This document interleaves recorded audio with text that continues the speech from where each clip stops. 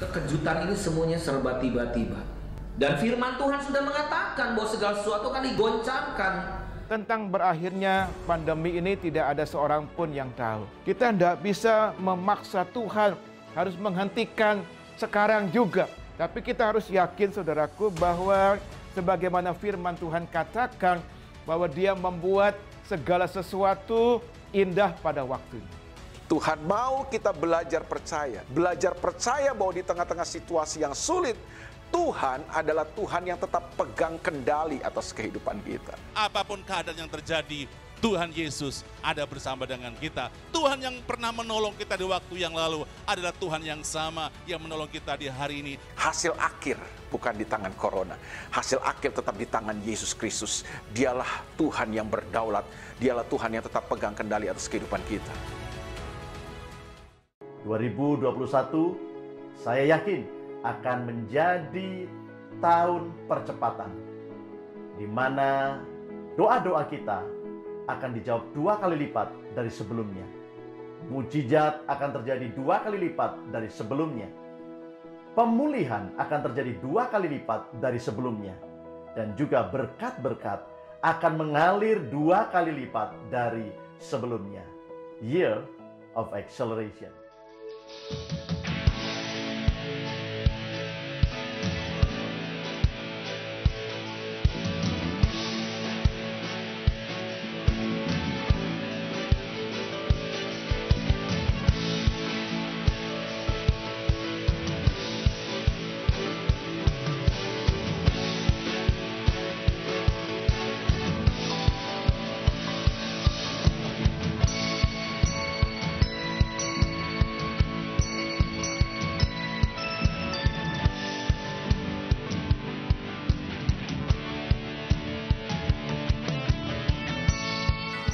kita duduk kembali dan kita akan melanjutkan pe- pengajaran seri kedua tentang doa dengan mengucap syukur.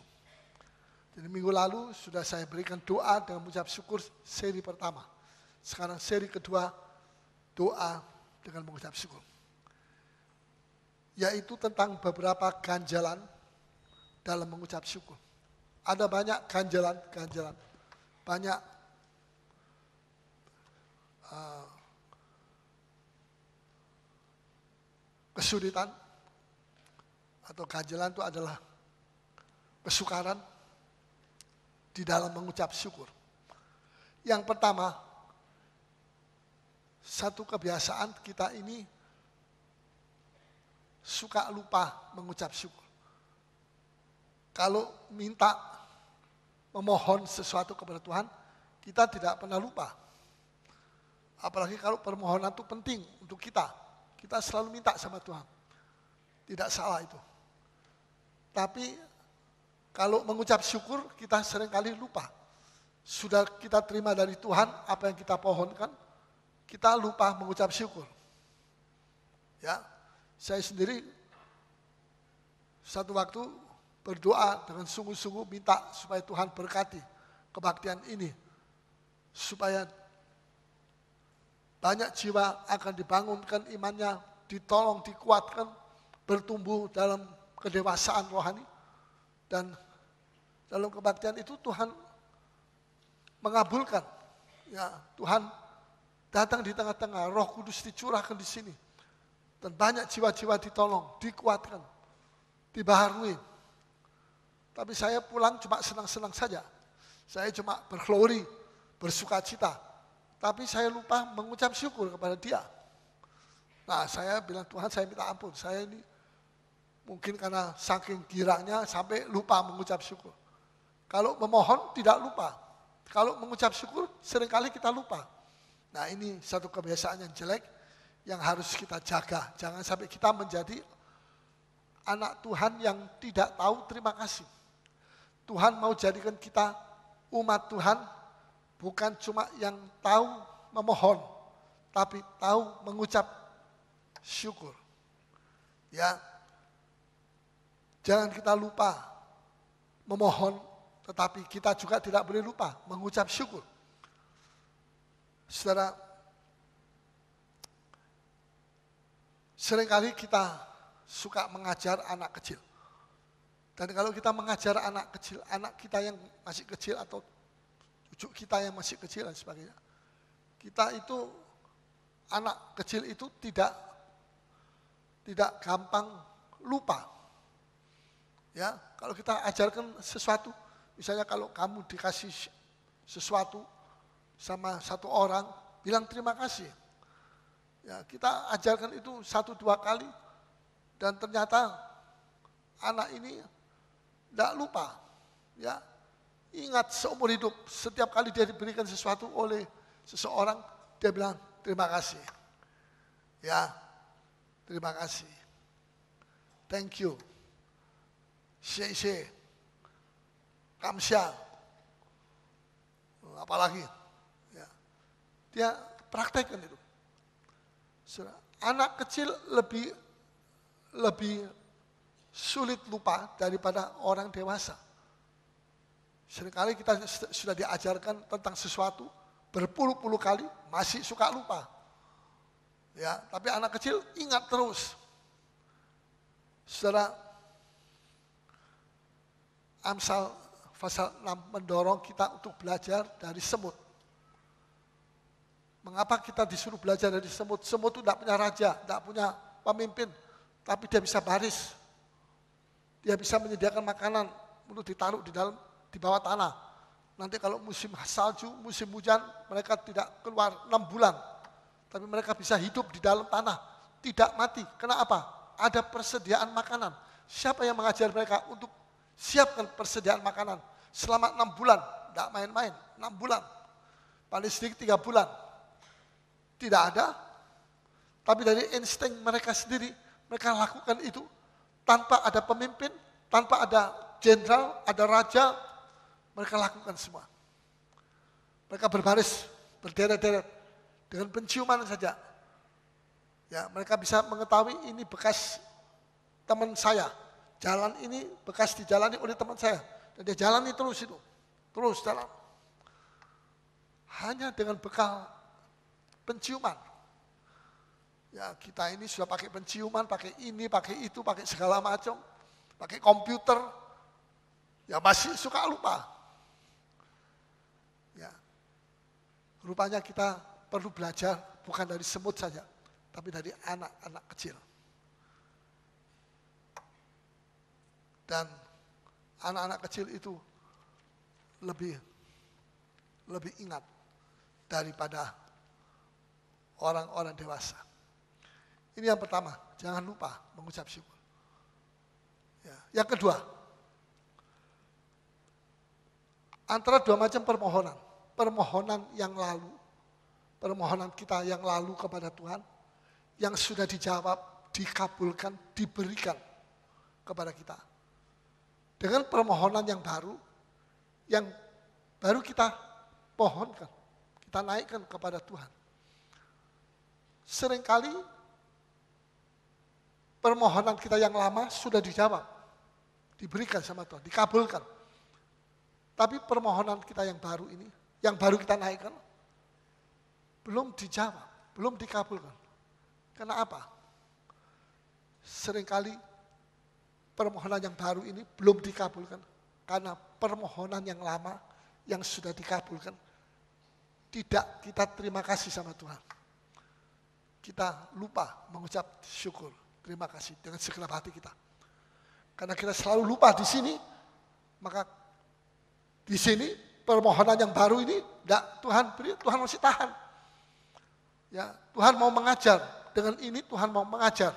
Dijadikan pengajaran, Tuhan tidak memberikan lebih dulu, tidak memberikan apa yang kita minta yang terakhir ini sebelum kita berterima kasih dengan permintaan kita yang lalu. Ini dijadikan pelajaran supaya kita belajar. Tuhan tidak mengajar dengan perkataan saja, tapi Tuhan mengajar dengan dengan, dengan uh, peristiwa-peristiwa. Ya, kalau kita minta sesuatu dan kita tidak terima, seperti yang kita minta yang lalu, kok cepat kita terima dari Tuhan? Itu mesti ada sebabnya. Kenapa kita tidak terima? Sudah begitu lama. Salah satu sebab adalah Kita lupa mengucap syukur. Sudah diberikan, dikabulkan, tapi kita lupa mengucap syukur. Saudara, ini yang kedua. Ya, yang ketiga. Kita belajar menunggu waktunya Tuhan. Kenapa kita meminta, memohon sesuatu, kita belum terima. Kita sudah pakai iman dan sebagainya. Iman perlu, tapi juga perlu menantikan waktunya Tuhan. Mau kita hari ini minta, besok Tuhan kasih. Ya, bisa. Tapi tidak dalam segala hal kita bisa menerima dengan cara begitu. Karena waktunya Tuhan itu sering kali tidak sama dengan waktu kita. Kita mau cepat. Kalau bisa hari ini saya minta, hari ini Tuhan kasih sama saya. Tapi Tuhan tidak.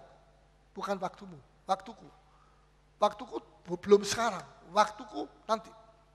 Kamu mesti belajar sabar, menantikan. Orang yang menanti-nantikan Tuhan itu akan membaharui kekuatannya. Ya, kalau dia menunggu seberapa bulan, berapa tahun belum dikasih sama Tuhan. Rasanya kalau begitu tuh bagaimana? Kalau sudah minta lama, tidak dikasih sama Tuhan. Ah Tuhan, gimana ini? Ada orang Kristen yang murtad, terus pergi orang pintar, mau tanya sama dia, minta sama dia. Ya, mempermalukan nama Tuhan, menyakiti hati Tuhan.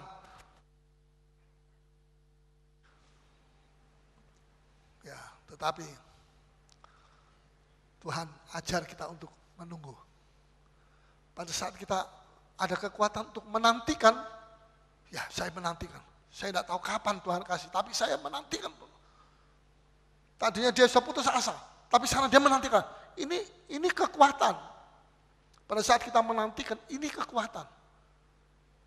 Makanya dikatakan orang yang menanti-nantikan Tuhan itu membarui kekuatannya. Kekuatannya enggak habis, memang habis tadi ya. Pada waktu dia putus asa, itu kekuatannya dia habis. Tapi kemudian ketika dia dikasih menantikan lagi, itu kekuatan. Dia mendapat kekuatan untuk menantikan. Makanya ayat firman Tuhan bilang, orang yang menanti-nantikan Tuhan itu membarui kekuatannya. Nanti dia tunggu lama, belum dijawab, dia hampir putus asa, tapi dia menantikan lagi. Ah, itu kekuatan lagi. Setiap kali dia menantikan, dia dapat kekuatan yang baru. Haleluya. Ya, Tuhan latih kita. Sudah satu waktu tahun 70 lebih, uh, kami sudah mulai gereja di sini. Ya, tapi waktu itu ada yang kita beli itu cuma 400 meter. Ya, itu yang jadi gereja Alpha itu. Nah, di sini di belakangnya ini lebih luas, lebih lebar.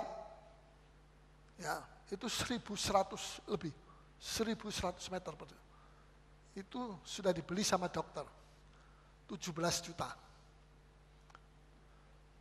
Ya. Dan dia bilang, kalau gereja mau beli, silakan. Saya tidak akan bangun rumah di sini. 17 juta, bayar. Cash. Saya sembayang-sembayang, minta sama Tuhan, tidak dapat, tidak ada. Jangan 17, satu juta tidak ada. Satu juta aja tidak ada, setengah juta aja tidak ada. Saya berdoa terus sama Tuhan.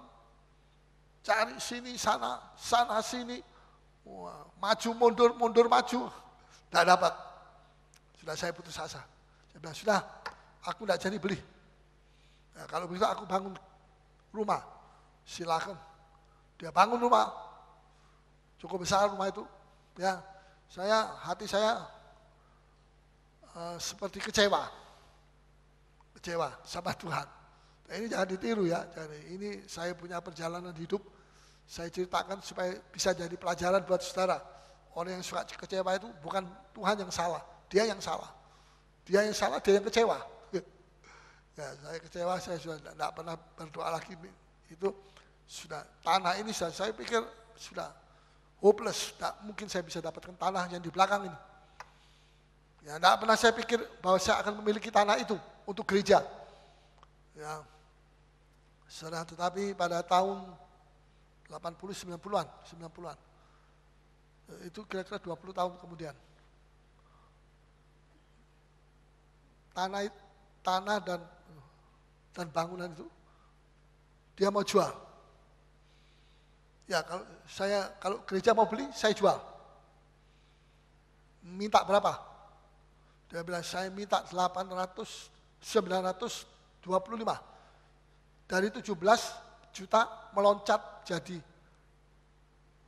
925, hampir 1 M. Ya, ini tukang loncat ini. ya, saya kaget. Hampir satu M. Wah, saya bilang, saya bilang Tuhan saya tidak punya duit segitu. Jemaat juga masih tidak terlalu banyak. Bagaimana mau beli begitu mahal? Ya, tapi setelah kita berdoa, berdoa dan kita urus itu, ternyata kita bisa beli itu. 925 juta. 17 juta. Tidak bisa, beda berapa? Beda 8, 908 juta. Bedanya 908 juta. Itu kita bisa beli, gereja bisa beli. Luar biasa. Lihat, kalau belum waktunya Tuhan, 17 juta saja tidak bisa, tidak punya duit, 17 juta. Miskin, Miskin sekali kami pada waktu. Tapi kalau sudah waktunya Tuhan, hampir satu M, ada uang. Karena sudah waktunya Tuhan. Bisa mengerti? Jadi yang salah bukan Tuhan, kita yang tidak sabar, mau nunggu waktu Tuhan, kita mau cepat-cepat, mau tergesa-gesa, pakai uang bank, lalu tidak bisa bayar, tidak bisa nyicil, lalu di, dibeslag, diambil alih. Ya, nangis minta tolong kepada pendeta, tolong sembahyangkan supaya bisa. Ya, uang dari mana? Jadi kita mesti pakai hikmat juga. Ya. Faktor waktu itu penting, waktunya Tuhan. Kalau sudah waktunya Tuhan, jangan kan bangun bangun alfa, bangun gedung ini sudah jadi. Ya, waktunya Tuhan.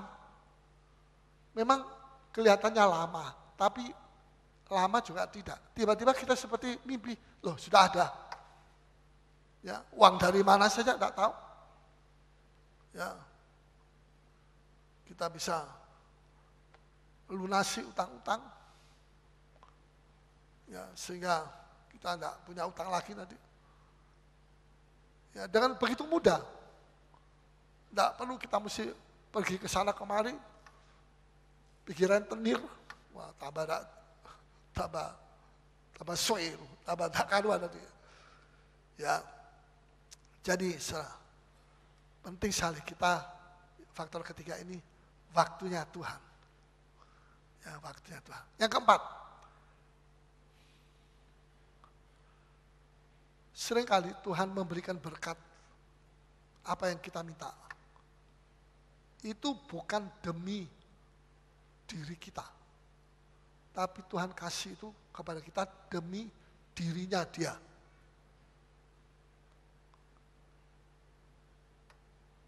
Ya. Contoh, orang Israel disertai, dibela sama Tuhan. Tidak pernah kalah kalau kalau perang. Sampai sekarang begitu. Ya, kenapa? Apa karena bangsa Israel itu bangsa yang banyak jumlahnya ber ratus-ratus juta seperti bangsa Indonesia begitu. 200 juta. Cuma berapa dia? 40 juta, 30 juta atau 20 juta.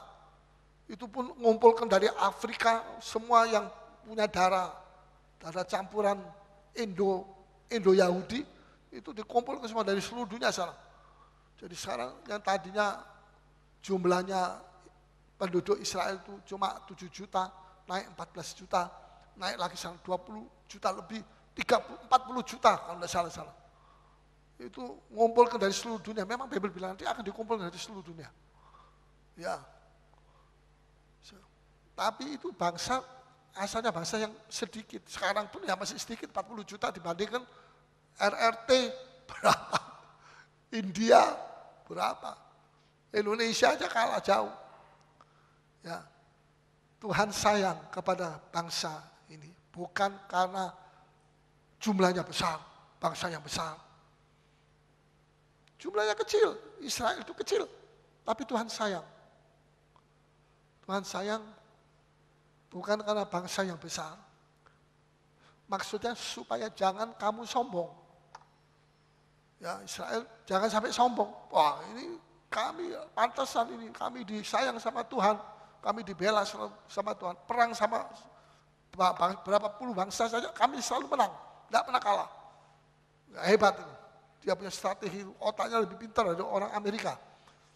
Ya, perang 6, 6 tahun, 6 hari, bukan 6 tahun, 6 hari. Itu dia bisa menangkan peperangan. Melawan semua Timur Tengah. Ya, hari pertama dia sudah hantam semua instalasi instalasi-instalasi tentara dari bangsa Mesir, dari mana, dari mana. Dia tidak membom Kairo, nanti dia di marahi sama bangsa-bangsa. Ya, orang yang tidak tidak berdosa. Tapi instalasi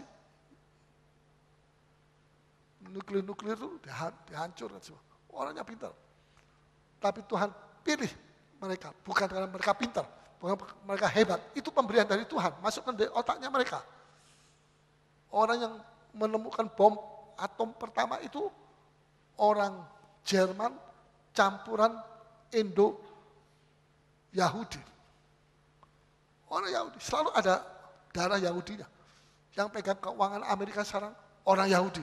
Wall Street, itu orang Yahudi semua. Saya, jadi, tapi Tuhan berkati mereka. Bukan karena mereka bangsa yang besar. Mereka bangsa yang kecil. Supaya jangan sombong. Supaya mereka sadar bahwa kami diberkati. Kami dibela sama Tuhan. Karena kami menyembah kepada Tuhan yang menciptakan langit dan bumi. Coba kita baca, ulangan 7 ayat 7 sampai dengan 8. Ya, ulangan 7 ayat 7 sampai dengan 8. Ya. Ya, bukan karena lebih banyak jumlahmu daripada dari bangsa mana pun juga, ya. maka hati Tuhan terpikat olehmu Oh, dan Tuhan- memilih kamu. Tuhan tidak tertarik kepada kamu karena jumlahmu begitu besar. Tidak. Ya. Terus Bukankah kamu ini yang paling kecil dari segala ah, bangsa? bukankah kamu ini yang paling kecil? Betul ini Israel itu paling kecil itu. Ya, tidak ada apa-apanya itu. Terus Tetapi karena Tuhan mengasihi kamu terus dan memegang sumpahnya Ya. yang telah diikrarkannya ya, kepada nenek moyangmu, ya, maka Tuhan telah membawa kamu keluar dengan tangan yang kuat Hmm. dan menebus engkau dari rumah perbudakan, ya, dari tangan Firaun Raja Mesir. ya. Jadi Allah itu cemburu. Allah tidak mau daging yang busuk ini. Saya katakan daging yang busuk, hawa nafsu yang busuk, nafsu kita yang busuk ini bersaing dengan Tuhan. Ya, kalau kita bersaing dengan Tuhan, Tuhan marah, Tuhan hancurkan di Israel. Ya, di serak-serak, dibuat terserak-serak di seluruh dunia. Di Indonesia dulu ba- banyak bangsa orang Yahudi banyak. Ya, tapi mereka sudah pulang semua. Ya. Jadi bukan Israel itu bangsa yang kuat, bukan. Kita dipakai Tuhan, kita dipilih Tuhan bukan karena kita hebat, bukan karena saya hebat, bukan karena saya, saya sekolah di mana yang belajar teologi yang hebat, tidak. Tapi kami dipilih, kami disayang oleh Tuhan. Oleh sebab Tuhan penuh kasih sayang kepada kita. Bukan karena kita hebat. Ya. Sebab itu kita tidak boleh meninggikan diri. Contoh yang kedua, pada waktu bangsa Israel berjalan, tiap hari dikasih mana, di, dihujani mana. Mana itu seperti tepung yang halus. Terus masak jadi makanan manis seperti seperti madu. Ya, mereka makan mana? Apa tuh tahu? Itu mana non kolesterol, non LDL. Ayo, non gula. Tapi manis, tapi tidak ada gulanya. Gulanya gula, bukan gula itu. Glikofans, tapi gula madu. Madu, kalau madu asli, semut tidak datang. Kalau semut datang itu berarti madu ini palsu nih, campuran dengan gula. Ya, jadi manis tapi semut tidak mau karena tidak tidak ada gulanya. Semut hanya datang kepada makanan yang ada gula. Itu keajaiban Tuhan dalam makanan madu. Ya, orang Israel 40 tahun. Non kolesterol, non apalagi? Non uh, apa itu? Asam urat. Sama di asam urat. Makan mana? Firman Tuhan. Ya, luar biasa. Tapi Tuhan kasih tiap hari. Bukan demi Israel. Tapi demi dirinya Tuhan. Ya, Tuhan kasih makan kepada mereka 40 tahun. Supaya jangan bangsa-bangsa di sekitar negeri Timur Tengah itu nyeletuk ngomong, oh Allahnya Israel itu tidak mampu kasih makan ya sama umatnya. Mati kelaparan itu semua di tengah jalan. Tidak ada makanan, pasir, mau makan pasir bagaimana? Mati semua ini tidak bisa. Cuma hebat semen, permulaannya saja, keluar dari Mesir, hebat. Bisa nyebrang laut, bisa nyebrang sini sana. Ya, tapi setelah itu di tengah jalan mati semua. Satu demi satu mati. Tidak mampu. Allahnya tidak mampu kasih makan umatnya. Tuhan jaga jangan mulutnya orang-orang jahat itu ngomong begitu. Makanya Tuhan kasih makan terus. Walaupun, dengar baik-baik, walaupun tiap tiap kali orang Israel itu bersungut-sungut. Rasanya Tuhan mau tampar saja mulutnya. Suka bersungut-sungut. Yang suka ngomel. Suka macam-macam mengeluh. Ya. Tapi Tuhan tidak hentikan itu. Mana? Tuhan kasih. Supaya mulutnya orang-orang jahat. Jangan menghujat kepada Tuhan. Luar biasa. Tuhan tidak lihat kelemahannya Israel. Bersungut-sungut. Wah rasanya kalau saya jadi Tuhan, saya tampar mulutnya ini supaya dia ya bertobat. Tapi Tuhan kasih makan terus. Kasih makan terus. Kasih makan. Tuhan tidak lihat kelemahannya. Tidak lihat kejahatannya Israel itu. Tidak tahu terima kasihnya tuh Israel itu. Tuhan tidak lihat. Tuhan kasih makan terus. Itu Tuhan. Panjang sabarnya itu luar biasa. Jangan sampai kita seperti orang Israel. Ya, jadi Tuhan kasih makan terus, tidak peduli mereka bersungut.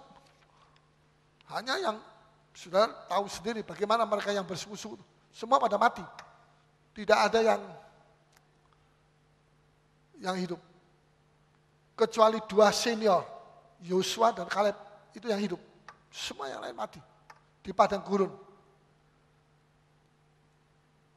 Ya.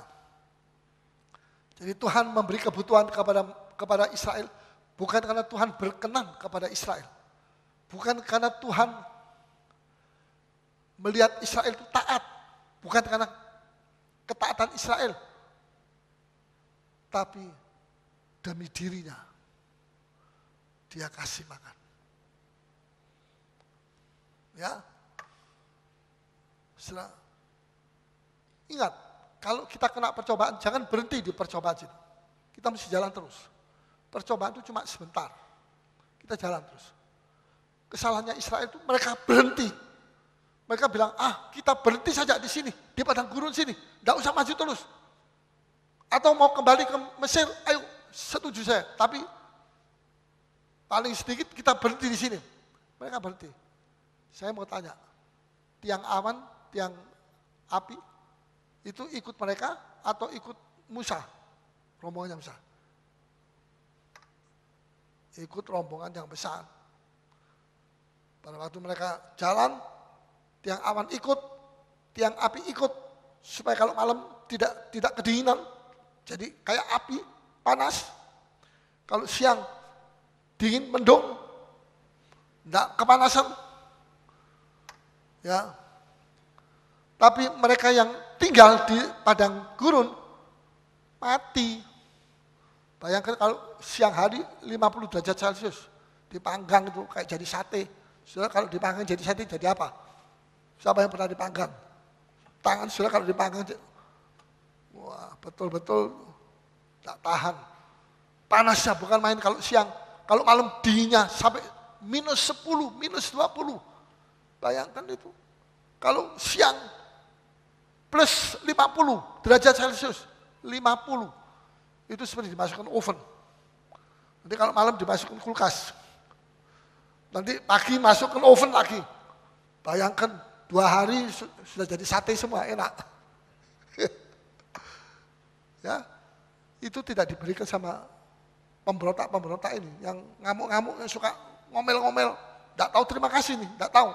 Sudah ditolong Tuhan begitu banyak, masih kurang. Masih, kenapa kok begini? Kenapa kok begitu? Selalu kepada Musa, kenapa kok Musa kok begini? Nah ini kan darurat. Tuh. Kamu diajar tuh pikul salib. Ya, tapi tidak mau. Terus yang kedua, kalau mereka tinggal di sini, mereka tinggal rombongan yang besar jalan, mereka mau tetap tinggal di sini, di padang gurun. Bagaimana mana? Mana turun kepada yang besar, yang jalan terus ini? Atau turun kepada mereka yang berhenti di situ? Enggak. Mana ikut? Tiap pagi turun. Mereka mereka pikir dapat mana? Mana? Mana? Mana bahasa Indonesia mana? Mana? Mana? Manamu mana? Tidak ada. Mati. Mati kelaparan. Tidak ada mana. Mereka bilang ini mana ini? Aku tidak suka, benci aku lihat mana ini. Sekarang dicari sama mereka. Tidak ada. Mati semua mereka. Bayangkan saudara. Ya, semua fasilitas Tuhan tidak untuk pemberontak, tapi untuk umat yang masih mau jalan. Jadi ngeri sekali. Yang kelima, ya ini kita mau baca dalam Lukas 17 ayat 15 sampai 18. Ada 10 orang kusta, semua disembuhkan. Terus Tuhan bilang, pergi ke imam, perlihatkan dirimu, memang ada peraturan, mesti diperlihatkan dirinya.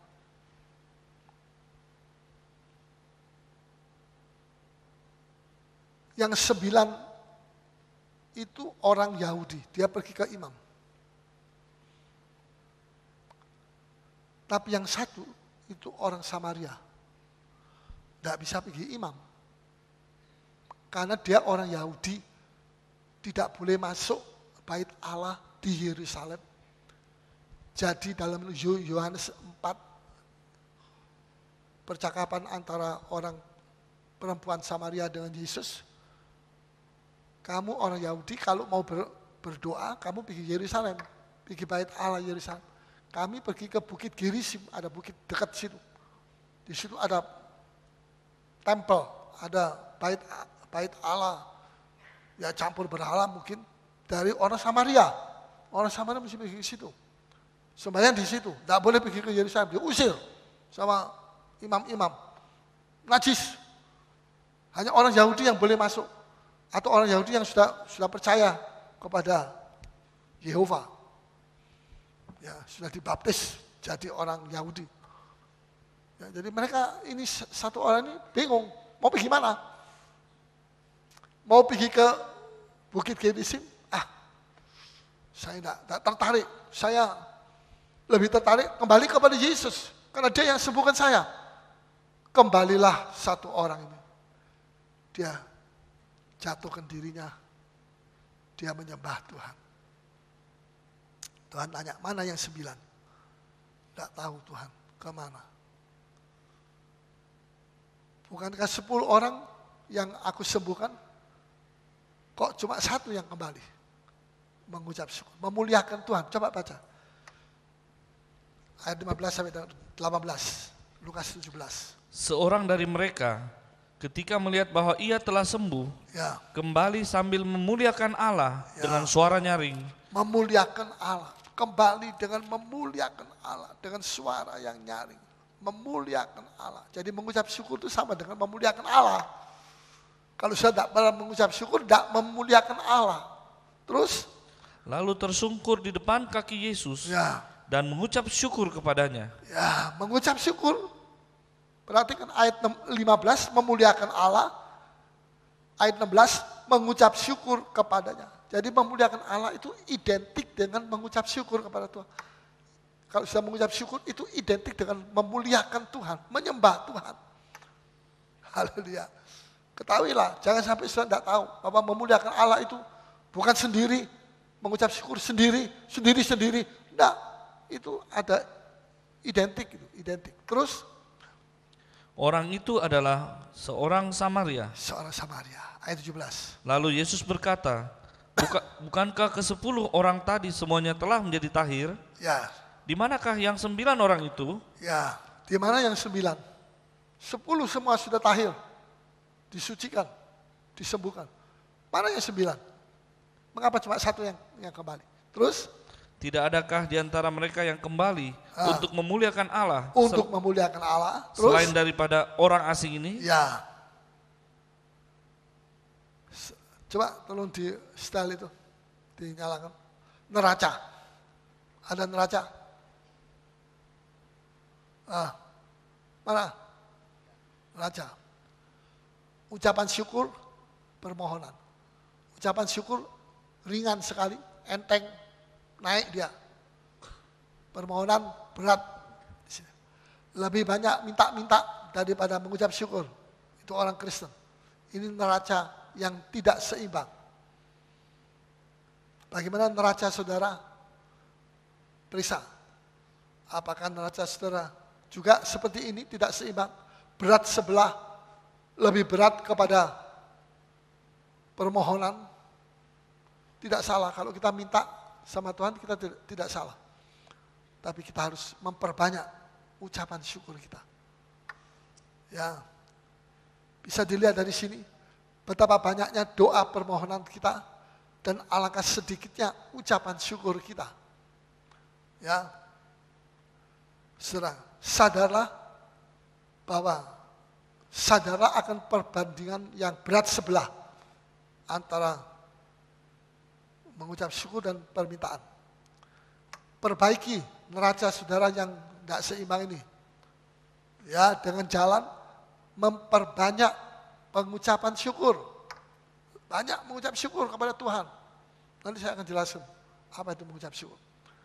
Ya, mintalah roh mengucap syukur. Ini roh. Roh. Orang yang suka mengucap syukur kepada Tuhan. Itu ada roh mengucap syukur di dalam dia. Setelah sembilan orang kusta ini disembuhkan. Semua, sembilan, sepuluh orang kusta. Sepuluh, sepuluh semua disembuhkan. Walaupun mereka tidak berfokus kepada Yesus. Tidak berfokus kepada Yesus. Mereka berfokus kepada kesembuhan. Mereka berfokus kepada berkat-berkat Tuhan. Apa bisa? Bisakah pertolongan datang kepada orang itu? Ya bisa. Tapi mereka tidak berfokus kepada Yesus. Berfokus kepada berkat. Bisakah mereka ditolong? Bisa. Buktinya di sini bisa. Mereka 10 orang semua ditolong oleh Tuhan. Ya. Banyak orang yang tidak berfokus kepada Yesus, tapi berfokus kepada berkat. Malah diajarkan berkat, berkat, berkat, berkat. Bukan Yesus, Yesus, Yesus, Yesus. Berfokus kepada berkat saja bisa. Bisa nggak dia terima berkat? Bisa. Buktinya ini bisa semua terima. Sembilan semua terima. Sama yang satu, sepuluh, semua terima. Nah, itu mesti hati-hati. Ya, tapi yang berfokus kepada Yesus, dia tidak cuma terima kesembuhan, tapi dia terima ada hubungan dekat dengan Tuhan. Dia jatuh, tersyukur. Dia menyembah kepada Tuhan. Ada hubungan yang begitu erat sekali. Tapi yang sembilan dapat berkat, dapat kesembuhan, tapi tidak dapat hubungan dengan Tuhan. Tidak. Jadi Kristen halaman saja. Jadi Kristen ya sekali-sekali puji Tuhan. Tapi tidak ada hubungan yang erat, yang dekat dengan Tuhan. Hubungan yang erat itu saya diingatkan Tuhan tadi seperti Musa. Musa punya hubungan dekat sama Tuhan. Musa bilang, Tuhan kalau engkau tidak ikut kepada kami, berjalan di padang gurun ini, sisa perjalanan ini, kami tidak akan berangkat. Biar kami tinggal di sini aja. Engkau harus ikut. Ini orang yang punya hubungan erat dengan Tuhan. Jangan hubungan kita cuma ditukar dengan berkat-berkat. Siapa yang tidak diberkati? Saya lihat banyak saudara yang diberkati di sini Waktu masuk pertama di gereja ini, dia miskin, dia kiri, dia tidak punya, dia tidak terlalu banyak hartanya. Sekarang diberkati sama Tuhan. Buktinya ada, tidak usah mesti saya setiap minggu berkat-berkat terus. Khotbah itu, ya boleh, sekali-sekali saya boleh khotbah. Tapi tidak terus, mesti itu. Buktinya saudara, walaupun saya tidak berkhotbah soal itu, Tuhan berkati saudara. Kalau sampai saudara tidak diberkati, coba periksa, kenapa? Ada apa? Ada kesalahan apa? Ya. Tapi janji Tuhan itu tidak bisa keliru. Ini bukan janjinya Paulus, ini janjinya Tuhan. Saya cuma menyampaikan. ya. Jadi Tuhan cari mana? Mana itu? Tuhan tidak paksa, panggil. Sekarang suruh datang sini, suruh sembah. Ini soal hubungan ini tidak bisa dipaksa. Tidak banyak orang mau pergi ke pengajaran karena mereka melihat bukan seluruhnya cuma berkat saja. Mereka melihat bahwa dalam pengajaran diajar, dididik, didewasakan. Wah itu daging tidak mau. Ya. Tapi berbahagialah orang yang mau menurut firman Tuhan. Dia akan diberkati oleh Tuhan. Bukan cuma dengan berkat jasmani, tapi ada hubungan dengan Tuhan. Sangat penting sekali. Sepuluh orang kusta ini sama dalam kesembuhan. Sama dalam pentahiran. Sama-sama ditolong. Sama. Tapi tidak sama di dalam mengucap syukur. Mereka absen. Tidak sama dalam hubungan dengan Tuhan. Mereka tidak punya hubungan dengan Tuhan. Ya.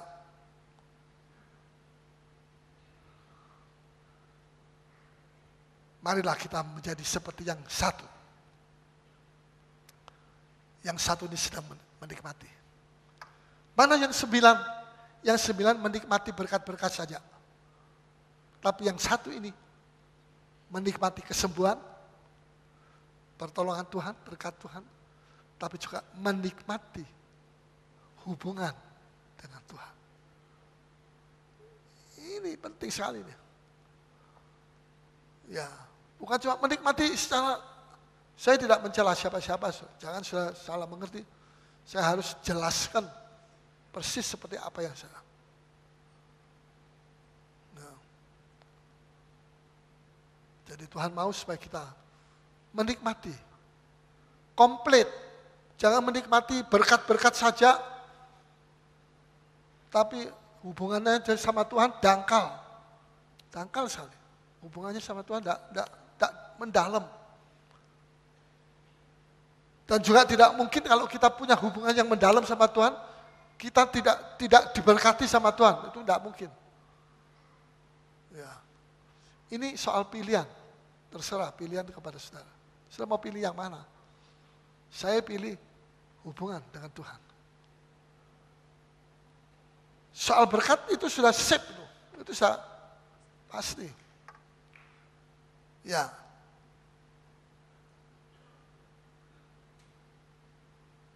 Marilah kita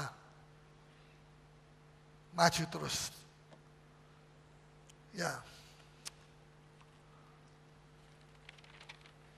Saudara, marilah kita mengucap syukur. Bukan cuma dalam hal-hal yang baik, tapi hal yang tidak baik juga. Bisa mengerti? Hal yang tidak baik kok mengucap syukur sama Tuhan. Tidak keliru pendeta Paulus, tidak keliru. Saya mengucap syukur karena saya pernah sakit Parkinson. Saya bisa mengalami, bisa cerita, bisa saksi betapa pahitnya itu. Menjalani, seperti menjalani jalan menuju ke maut. Saya bisa saksi. Saya bisa mengalami mujizat dan saya bisa saksikan mujizat itu. Kalau saya tidak mengalami sakit itu, saya tidak, tidak mengalami. Orang mau omong ini itu kayak silakan. Ya. Saya percaya bahwa pengalaman saya ini menjadi berkat bagi orang lain. Ya, jadi saya mengucap syukur. Terima kasih Tuhan. Bahwa Tuhan izinkan saya mengalami sakit Parkinson. Kalau tidak saya tidak menikmati kesembuhan ini sekarang. Dan hubungan dengan Tuhan. Kalau sudah perhatikan, saya tidak tahu, sudah perhatikan atau tidak. Sejak saya berkhotbah setelah saya sembuh, khotbah saya lain. Dan dulu kalau cari khotbah itu setengah mati. Wah susahnya bukan main. Putar-putar. Sekarang begitu saya duduk, saya tulis. Balapan ini, yang masuk sini sama balapan. Balapan. Dalam tempo satu jam, dua jam, tiga jam, selesai. Itu kalau sudah waktunya ya. Kalau sudah jamnya itu saya merasa. Tuhan kasih dek, satu ayat saja, dek. Waktu itu bisa terbuka, terbuka, terbuka. Nah kalau saya begitu, saya kerja apa saja di rumah, saya tinggalkan. Saya lari pergi ke kamar saya, saya nulis. Sebab saya pernah mengalami, kalau saya tidak tulis saat itu, satu, mungkin saya sibuk, satu jam kemudian saya baru ke meja tulis saya, saya mau tulis, saya pikir apa yang saya mau tulis ya? Lupa semua. Salamu sendiri, kata roh kudus. Satu jam yang lalu kamu mesti datang cepat. Karena ini begitu roh kudus mau kasih sama saya, saya mesti tulis. Kalau tidak, dua jam lagi, tiga jam baru saya tulis, tidak ada. Cuma nulis seperempat halaman saja mungkin. Wah saya sudah hilang. Firman itu hilang. Ya saya bodoh sekali. Kenapa kok saya sibuk menyibukkan diri. Jadi saya ini saya mesti menyibukkan diri dalam firman saja. Ya, tapi kalau saya nurut, saya lari, saya tulis, ya bisa sampai tiga empat halaman. Ya, baik sekali, Tuhan menyediakan ini untuk umat untuk saudara. Saudara yang dicinta sama Tuhan. Saya ini pelayannya saja. Saya ini jongosnya Tuhan. Jongos, nulis, kasih makan sama saudara. Ya. Makanya yang kedua, kalau saya juga mengucap syukur, itu artinya saya percaya bahwa apa yang saya minta itu Tuhan kasih. Contoh, tadi hujan deras, deras saya minta sama Tuhan, Tuhan saya minta hentikan ini hujan. Supaya mereka bisa datang. Terus saya seperti pikir saya mau apa salah? Mau minta, roh suci kasih tahu, tidak usah minta. Sudah cukup, kamu sudah minta. Sekarang kamu mengucap syukur. Ini khotbah, kamu mau khotbah ini, lakukan ini. Jangan cuma pengetahuan, tapi harus lakukan. Dalam hati saya, saya mengucap syukur. Terima kasih. Tuhan. Terima kasih itu, ucapan terima kasih saya itu, itu satu satu bukti bahwa saya itu percaya saya sudah menerima. Walaupun masih turun hujan, tapi saya sudah menerima itu. Dan ternyata berhenti, tapi masih hujan lagi, berhenti, masih gerimis lagi. Waktu saya keluar ke sini, gerimisnya tinggal sedikit. Dan kemudian sekarang sudah tidak lagi gerimis. Sudah yang datang cukup banyak. Ya, walaupun belum semua.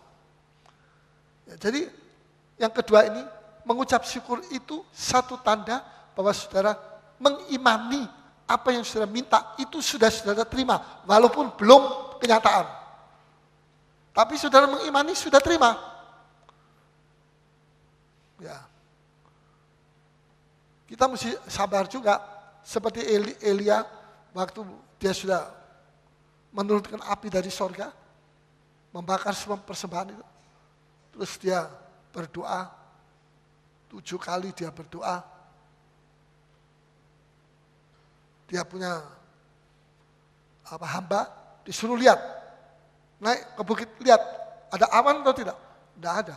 Yang kedua kali tidak ada. Ketiga kali keempat lima enam tujuh kali. Keenam kali kalau saya mungkin sudah kecewa. Dia tidak kecewa. Eli, Eli, Elia tidak kecewa. Lihat lagi ketujuh kali. Dia lihat ada awan. Se. Terus tambah lapan tambah besar, besar, besar. Meliputi seluruh daerah kawasan itu. Hujan turun, biar dicurahkan. Luar biasa. Jadi saudara, jangan saudara pikir Tuhan itu diam. Tuhan itu malas. Tuhan tidak diam, Tuhan tidak malas. Tuhan sedang bekerja. Hanya mata kita tidak melihat apa yang Tuhan kerjakan. Apa yang Tuhan kerjakan. Itu, apa itu? Uh, awan itu sedang digiring dengan angin oleh Tuhan dari sebelah cakrawala yang sana. Yang tidak kelihatan itu kalau saya lihat di laut, cakrawala, di baliknya sedang digiring. Dan itu perlu waktu. Jangan Tuhan itu bukan bim salabim. Ya, itu perlu waktu. Menggiring awan begitu banyak, meliputi kawasan begitu luas, ya perlu berapa jam? Mungkin, ya bisa Tuhan kirim dengan angin ribut supaya cepat ekspres. Tapi banyak tanaman nanti hancur, banyak bangunan rusak kena angin ribut itu. Tapi Tuhan kirim dengan angin yang yang yang segar. Kemudian datanglah itu awan, hujan turun. Jadi Mengucap syukur tanda iman. Ya, tanda iman. Sudah mesti mengucap syukur terus supaya iman sudah ditahan sama mengucap syukur, ditahan sama mengucap. Dan ketiga, mengucap syukur tanda bahwa Tuhan tidak salah. Yusuf waktu saudara-saudara datang menyembah, minta ampun Yusuf, kita sudah men, me, menjual kamu ke Mesir. Gak usah, Yusuf gak usah. Saya mengerti kok. Saya dijual oleh Anda ini ke Mesir. Ini cuma Anda ini suruhan Tuhan saja. Tangannya Tuhan saja. Untuk merealisasi rancangan Tuhan atas hidup saya. Bahwa saya akan menjadi pembagi gandum di Mesir untuk seluruh bangsa-bangsa yang berdatangan ke Mesir. Jadi mengucap syukur saja. Saya mengucap syukur bahwa Anda jual saya ke Mesir. Kenapa kok tidak ke Babel? Kenapa kok tidak ke Indonesia? Kenapa kok ke Mesir? Karena di sini rencana Tuhan akan jadi. Jadi saya tidak, tidak menyesal. Anda menyesal, saya mengucap syukur. Bisa mengerti saudara. Jadi Mengucap syukur itu juga satu tanda bahwa Tuhan tidak salah, kaprah, tidak salah. Menuntun Yusuf pergi ke Mesir. Tuhan itu benar. Tuhan itu benar. Kita mesti mengucap syukur. Jadi kita tidak cuma mengucap syukur atas berkat-berkat, tapi atas percobaan, atas hal-hal yang wah ini Tuhan apa enggak keliru engkau membuat saya mengalami seperti begini, pengalaman yang seperti ini. Tidak. Kita mengucap syukur Tuhan itu baik adanya. Luar biasa. Begitu banyak ya arti dari mengucap syukur. Dan tidak ada perkara lain kecuali Tuhan mau supaya kita selalu mengucap syukur. Mau mengucap syukur? Terima kasih Tuhan. Terima kasih Tuhan. Haleluya. Mari kita bangkit berdiri semua.